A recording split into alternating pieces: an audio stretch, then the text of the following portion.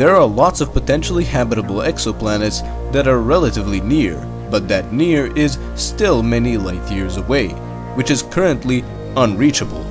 But what are they like and what would living in one of these potentially habitable planets be like? So let's take a look at probably the most promising world and that is Kepler 452b. It is an exoplanet 1400 light years away, so it is 1400 years in the past from our point of view. In other words, it is 13.3 quadrillion kilometers away, which means that even Voyager 1 and 2, which are one of the fastest machines humans have made, would take over 2 million years to get to Kepler 452b, if they were headed its way.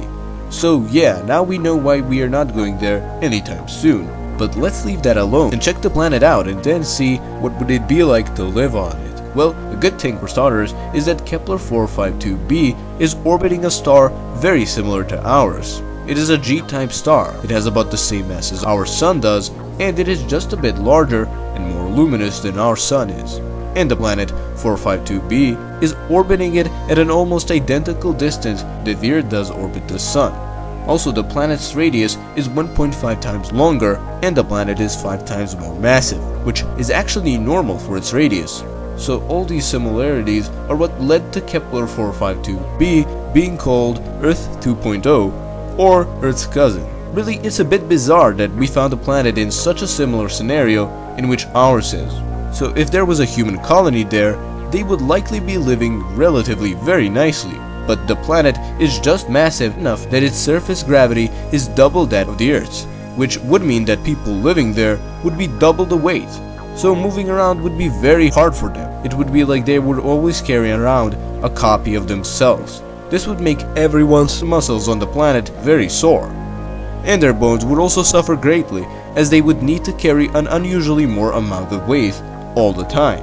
In general, this would lead to all kinds of problems and complications and would result in a reduction of the human lifespan for sure. That is unless humans know how to solve this problem, which likely would be the case in such a future. So as these humans would go out, they likely would always need to wear on some protection or an oxygen tank. We don't know yet if there is oxygen in the atmosphere of the planet, but even if there was, there is also a chance that there would be too much of some other chemical that would kill us. So likely, we would either need to filter out the air or just always wear oxygen tanks outside of the base. We also don't know the temperature of the planet, but considering the distance of the planet to its parent star, and considering that it gets 10% more energy than the Earth does, then it likely is more hot there. But not so hot that the water would evaporate. And considering that water is one of the most common molecules in the universe, this likely means that there are oceans there. So humans would just need to filter out water to use it, which is very good.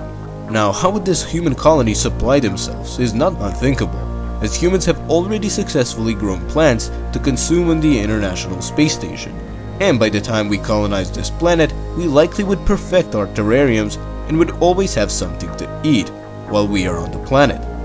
The bases that would be on the planet would likely be not too lavish in the beginning, but rather just enough to survive.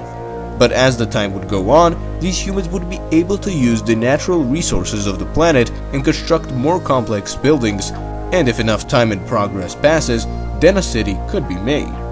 What is also good about this planet is that it likely has a strong magnetic field as its mass is 5 times that of the Earth's. But this would also mean that the planet would be more geologically active, so there would be a bigger chance of a volcano erupting. But the planet would be protected from solar winds. Now, there is also a slight chance that humans there would encounter another living organism, but it might be just microscopic. But if it is not just microscopic and it is complex, then either we would be in peace with them, which there is a chance that that would be the case, they would mind their own business, not interfering, and we would do the same as well. There's also a chance of us killing them, probably by spreading some of our bacteria and viruses onto them. Or they would kill us if they spread something similar onto us. So overall it seems that it would not be that bad to live on Kepler 452b. But there would be also lots of predictable and unpredictable obstacles to overcome. That is, if we ever get there. Now, this is not the only potentially habitable exoplanet there is. There are a few of them, so we should keep on learning about them more as it is very exciting and useful.